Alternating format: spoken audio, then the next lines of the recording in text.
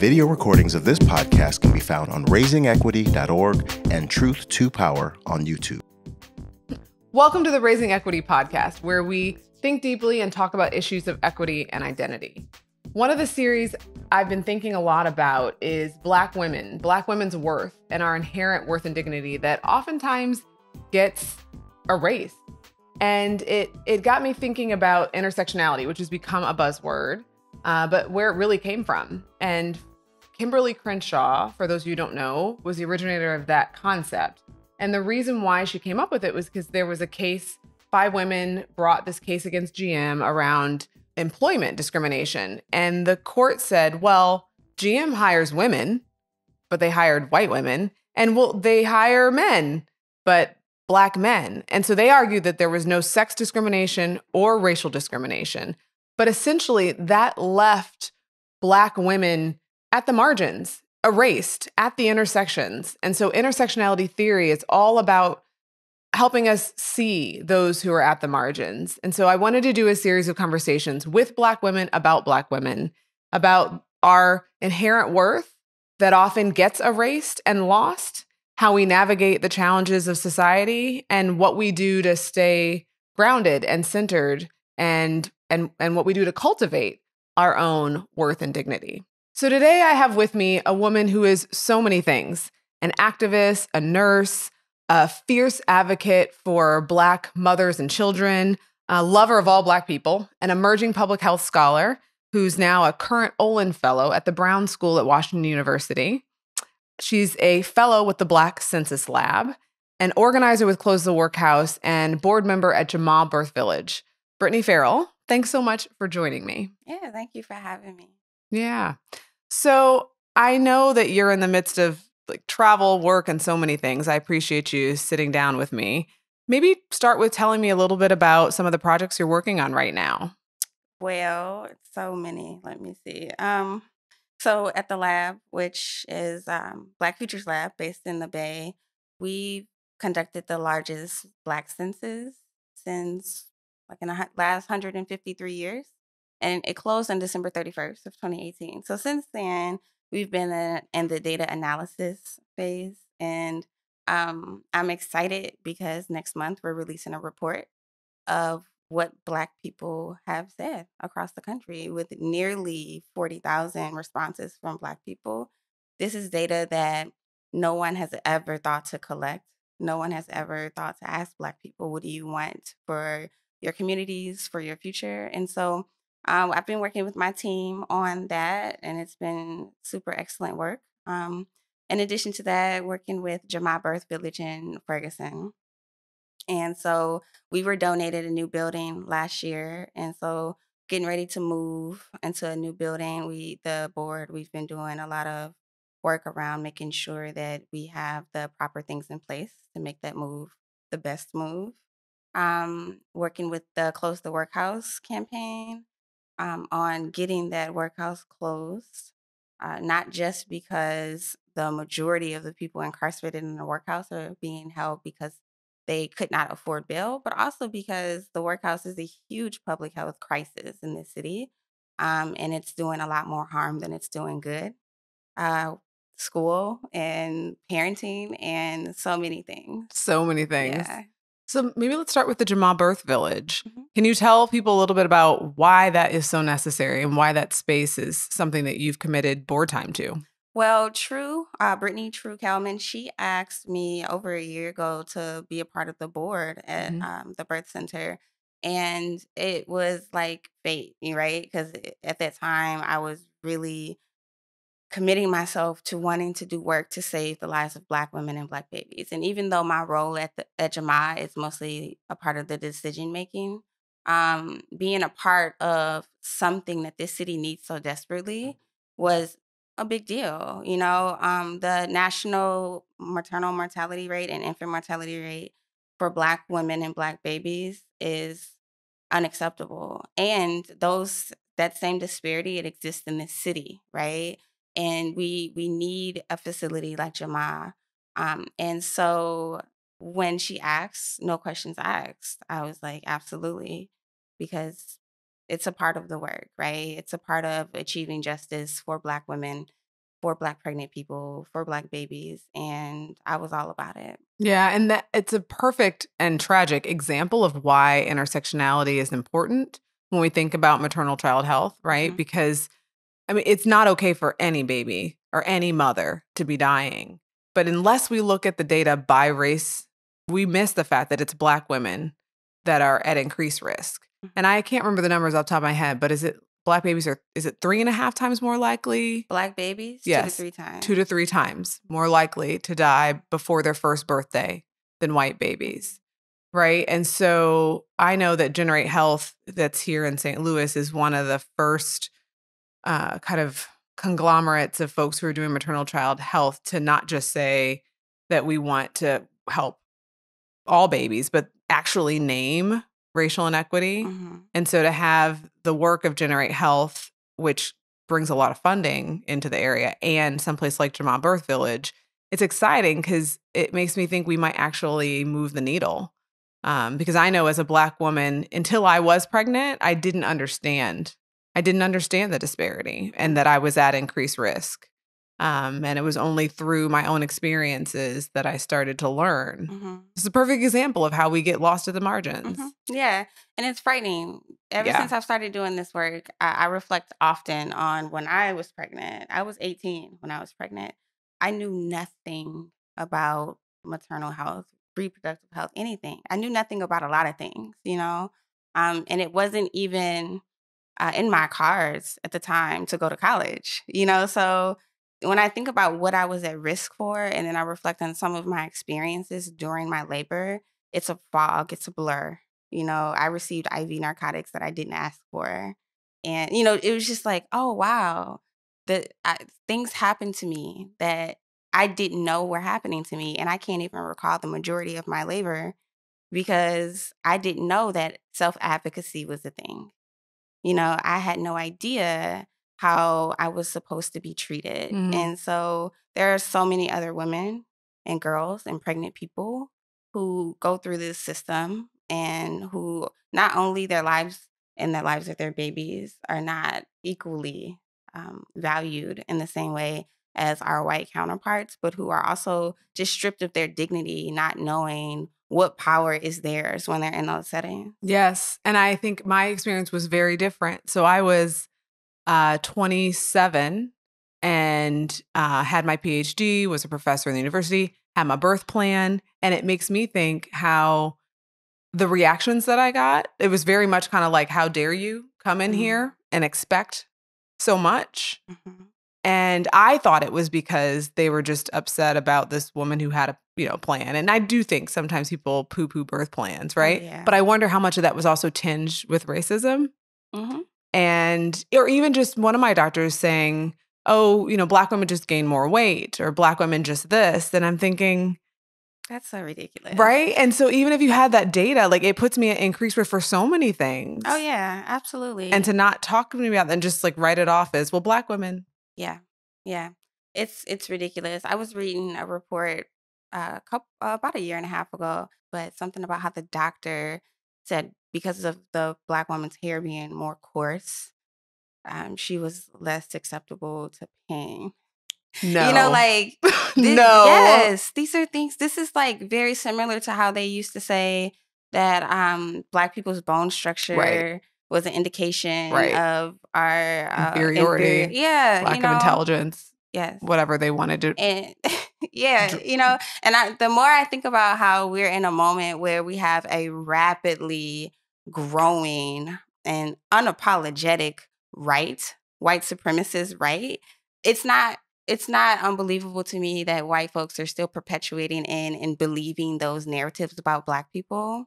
And um, with black women becoming more and more educated, one of the most educated demographics, you know, it's like for the type of um, pushback that we get by simply just existing, right? It's it's not surprising to me at all. And yet, none of that will save us. Our education will not will save not us. My all. education, my access, my affluence, that didn't save me. Mhm, That didn't save me from hemorrhaging. That didn't save Right. me from, like, it didn't save me from so many things. And and we we don't know Mhm. exactly what puts it puts us at increased risk, but we've controlled for all these factors. So know. we know. We know we it know it's It- racism. You know, like even with Shalon Irving, she was she worked for the CDC. yes. You know, like high in the Tell, ranks. Give a summary of the story. Okay, so Shalon Irving, she was a black woman. Um, I believe she was in her 30s, late 30s. I don't remember could her be mistaken. age. It's in the ProPublica article. Yeah. It- and so she um, was high in the ranks,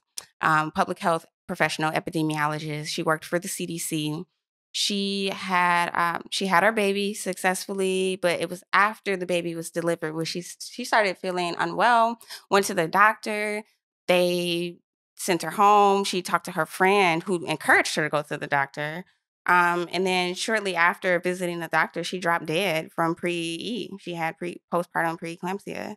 And that's also another thing that black women die a lot from after giving birth, you know? And so um, someone who's that educated, you know, and who even worked for the same agency that does this research and that puts out this data about about black women dying, you know, was herself a victim to this same, you know, this disparity. Yeah. Yeah. Yeah.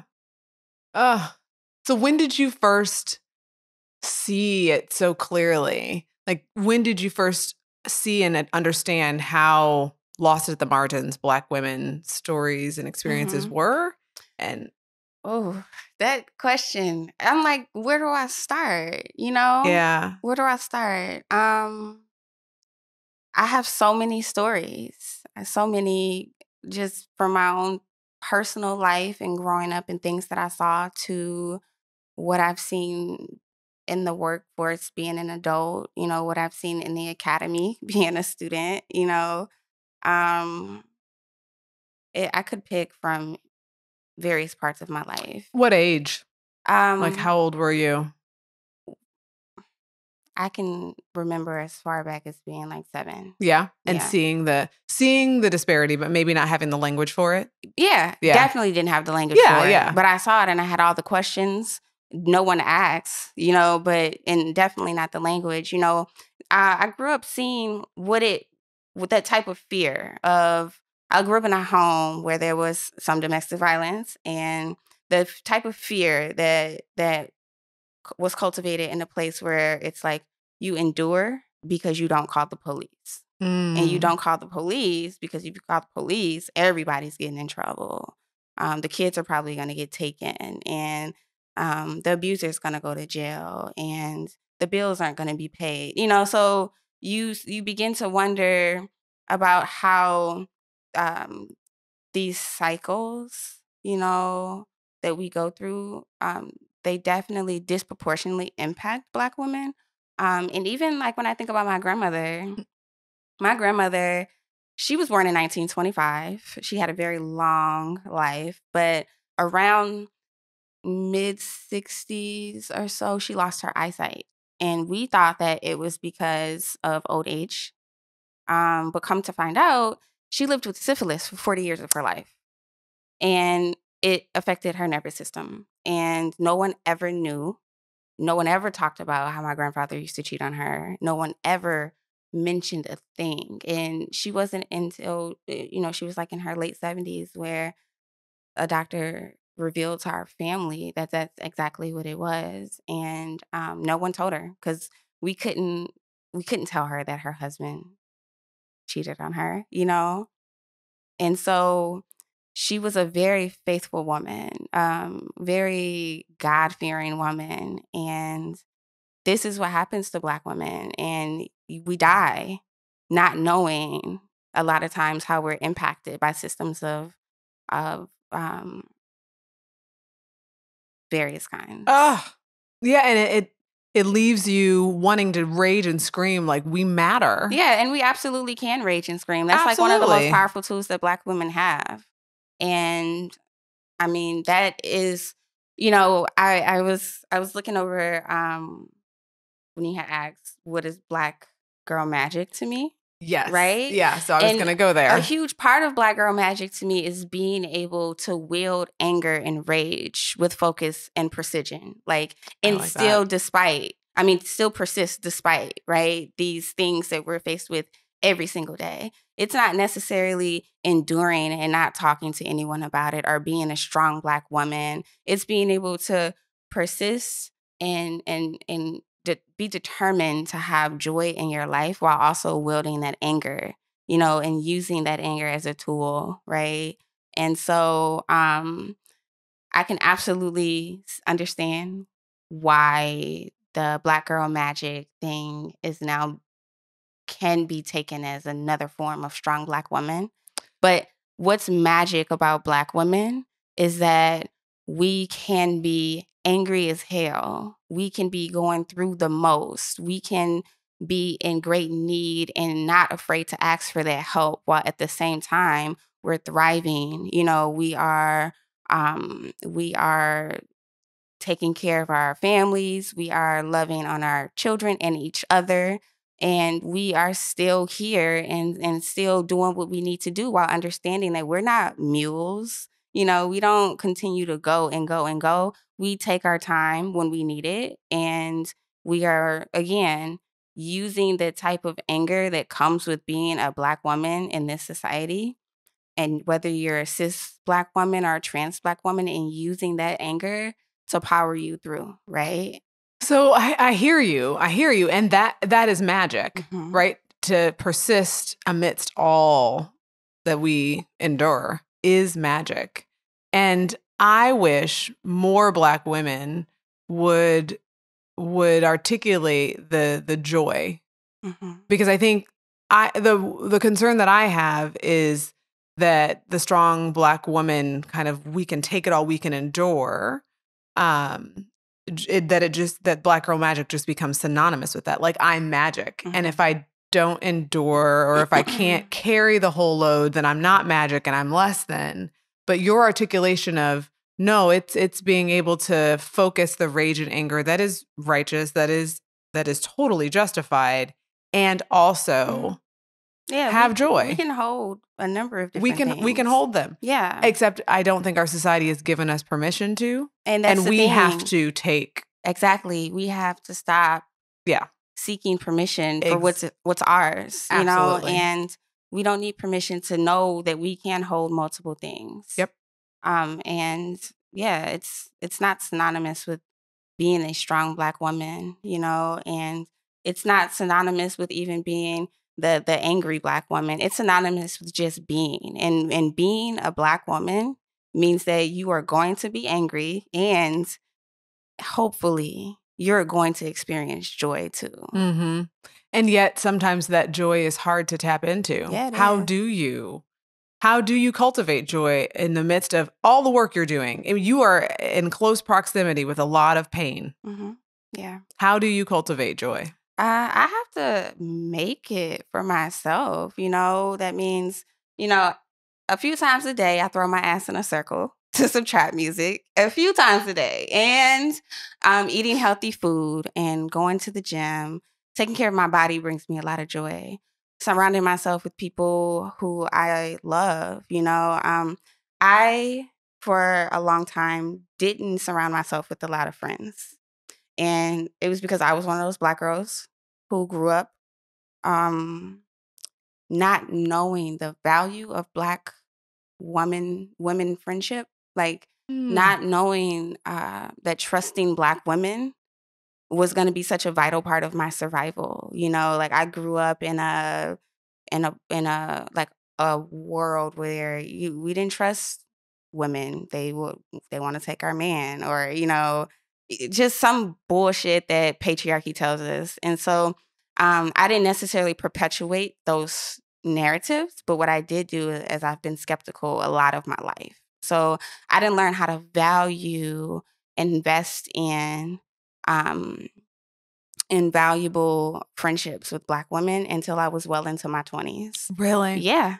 Really. what made you shift what made you realize Because I realized that Black women always had my back. ah always, you know?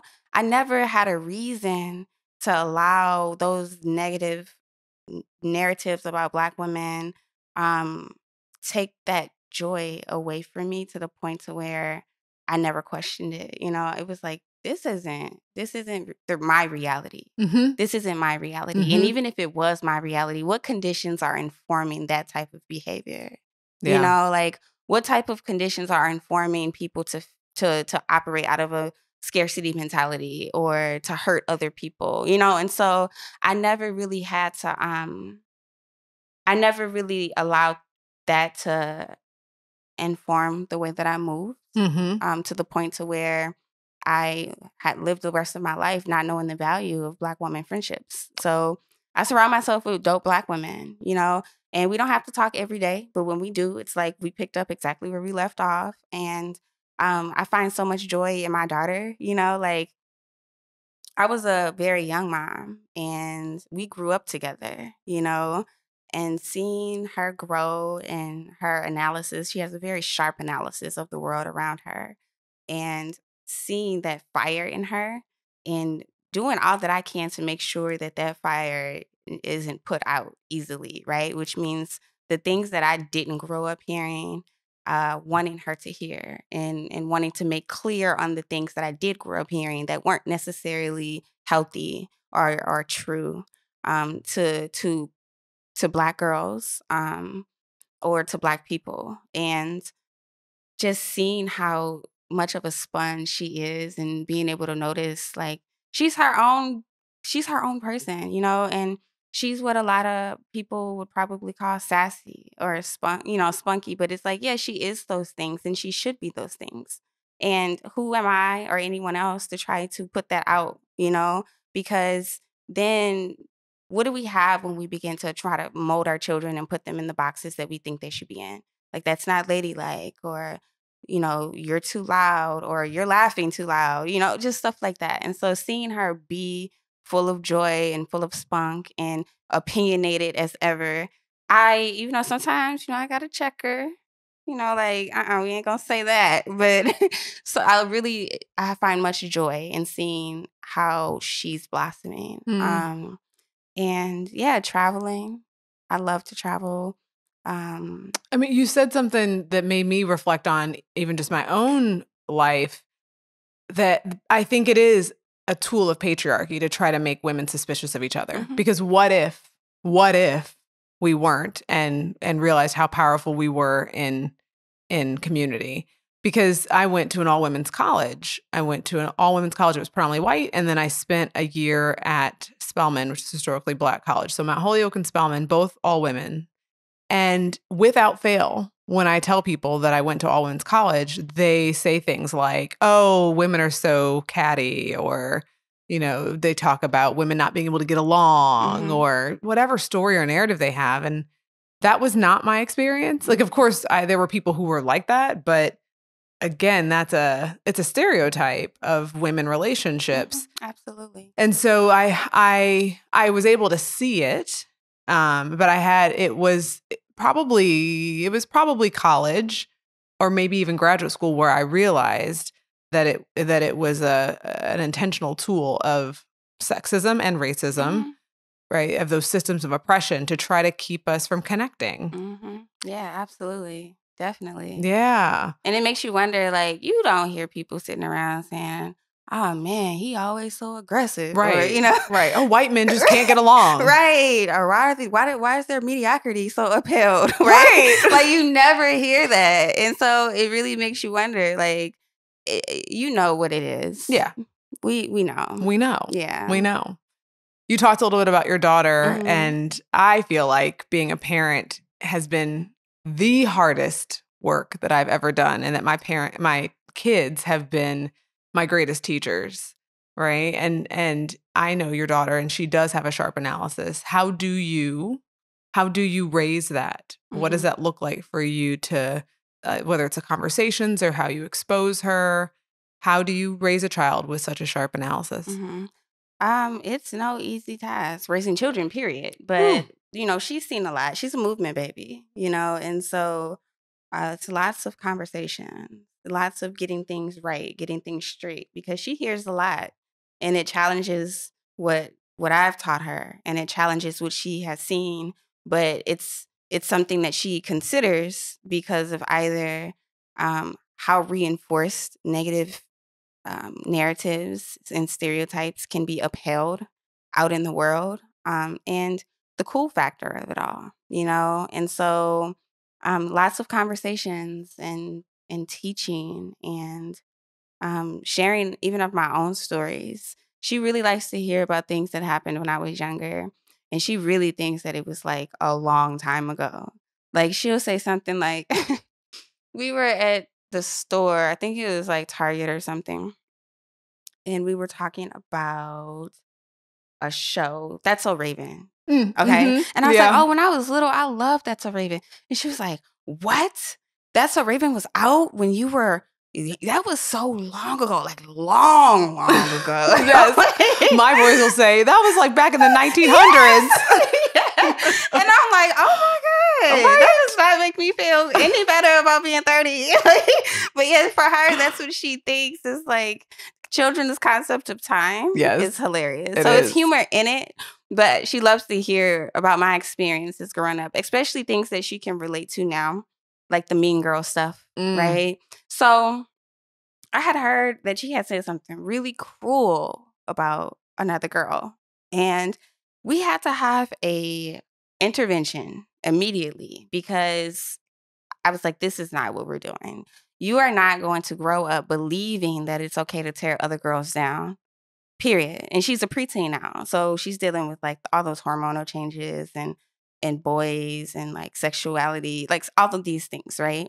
And so um there's like a boy who puts her and another girl against each other and they say like the other girl's a 100% and Ken is a 40%. She's not that cute. You need to get braces. You need to get your teeth fixed. So her response to that is to tear the other girl down instead of tearing his ass down. You know? And I'm like, I'm like, so let's let's let's take look at the big picture here. You know, let's look at how these things are working, you know, and having conversations around not tearing other women down, especially when when when you have a, a boy who's putting you against someone for something as simple as their opinion on how you compare to another woman. That will happen for the rest of your life. And if you let that defeat you now, you are going to have a very, very hard time as you grow up in this world, you know. And I try to reinforce Black sisterhood Mhm. and Black relationships with other women um, and girls. And, you know, it's sticking, I see. But the challenges of puberty are definitely against us both. Yes. So, yes. Oh gosh. Yeah. It's hard. it's very hard. It's hard. Ooh, well, we could talk about so many things, but I want to make sure we make time for this newest project, this newest idea that you're that you're implementing around sharing the stories of black women hmm in pregnancy. Yeah. I haven't talked a lot about it um, publicly. So this is the first time where I'm going to talk about it. you about okay it. talking about I'm it? okay talking about Okay. it. Um, so it has a working title right now. You lucky you got a mama, and it highlights uh, Black pregnant people and Black pregnant women's experiences and what it means to be pregnant at a time where you are three to four times likely to die as a result of childbirth, and it is canonizing Black women and highlighting us in our natural form in our homes, doing our children's hair, um, going to the doctor, you know, and really humanizing us um, as people who have not only forged the, you know, what OB practice is today, but also, you know, um, showing us in our day to day as we continue to use reproductive labor and our physical labor to um,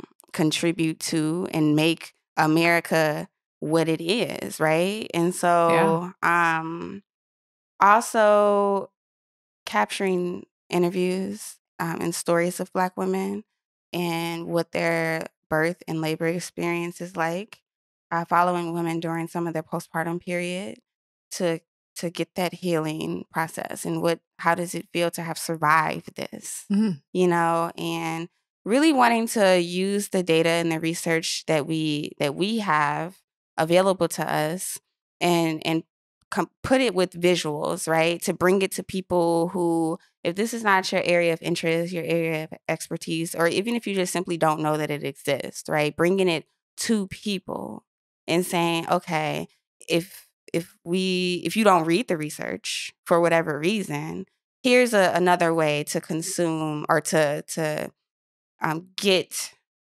what the current condition is for Black women and Black pregnant people in America. Like, here's a way for it. And maybe it's more easily digestible this way, but really wanting to provide people with these experiences so that they know, like, nationally, it's not just Black women who are dying at an exponential rate nationally, but it's also right here in St. Louis. And these are real faces and bodies of people who are impacted.